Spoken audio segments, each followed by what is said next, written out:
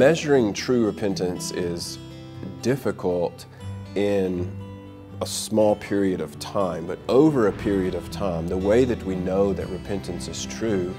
is by looking at our life or the life of someone else and seeing that there has been a change of direction, that we're no longer giving in to the same sin in the same way, to the same degree, but we have